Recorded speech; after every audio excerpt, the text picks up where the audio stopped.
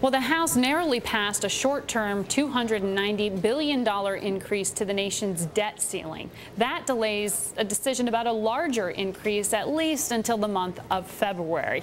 But our next guest has been warning that U.S. public debt is soaring and there are real ramifications to this climbing figure.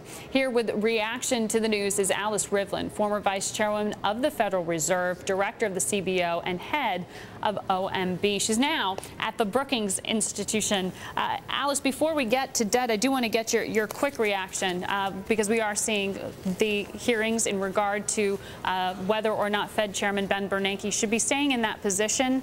We did hear Marty Feldstein earlier on this program say he should be uh, get the votes for renomination.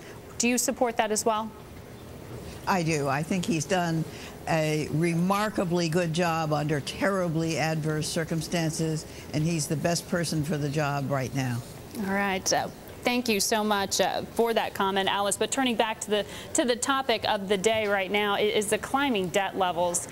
You and I were speaking just last week about this question, and at the time, House Majority Leader Steny Hoyer had, had said, you know, 1.8, 1.9 trillion dollar increase to the debt. We saw a little bit of a uh, holdover with just this 290 billion, if you can use the word just, and then follow it by billions.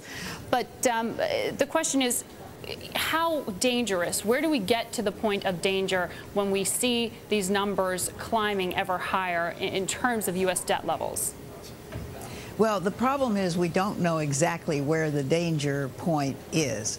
Uh, the debt has gone up very rapidly recently as a result of all the things that were done to rescue the financial system and to uh, get the economy uh, beginning to turn around again.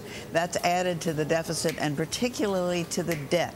Uh, we didn't used to have such a high percent uh, debt uh, re relative to our GDP, but we do now, and we see it going much higher if things don't turn around. Much higher. Yeah, the, the increase in the debt limit brings us now to uh, about 12.4 billion from just 12 billion uh, in terms of the debt limit change that we've seen uh, so far. Do you think that we'll ever see um, us breach those debt levels? Could you ever see a U.S. default?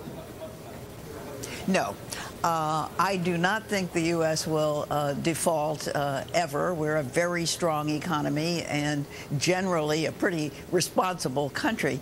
So I don't think we will default. But we will have to do quite drastic things in the future uh, to make sure uh, that we bring our debt levels uh, down, or at least that we keep them at a sustainable level. Um, I worked with a group of people recently on a report the Pew Peterson report, which mm -hmm. said we should stabilize the debt to GDP ratio uh, by about 10 years from now at 60% uh, of GDP. Now, that will take a major effort. And you say actually should be maybe more like 40, right? Well, it should, but that's not realistic right now. 60% is a pretty good goal. It's what the Europeans have in their Maastricht Treaty. The IMF has blessed it.